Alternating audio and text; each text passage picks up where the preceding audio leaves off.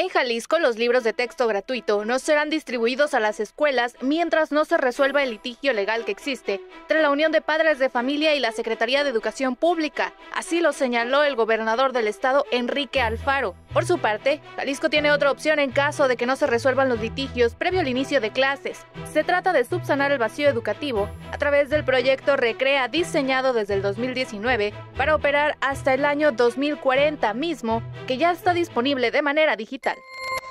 En tanto no haya una resolución judicial, los libros de texto no serán distribuidos en Jalisco.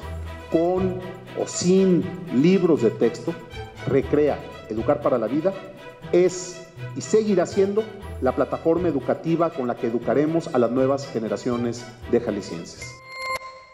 El gobierno estatal dio a conocer ocho estrategias locales para fortalecer la educación.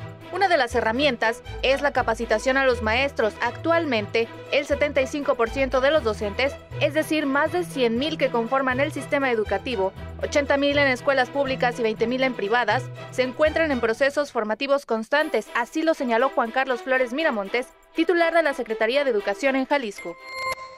Hoy la propuesta didáctica es distinta, es que el libro sea un recurso más. Para los estados que no están preparados, creo que es un gran desafío en días, en semanas, en un verano tener esto listo.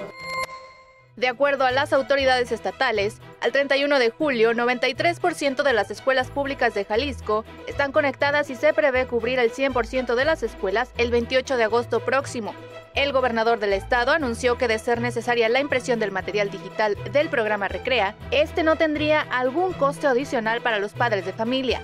Por su parte, la federación estima entregar a Jalisco 9.3 millones de libros de texto gratuito. Por el momento, se han recibido entre 6 y 7 millones para el caso de secundaria. Estos llegarían en octubre. Janely Rivera, Mega Noticias.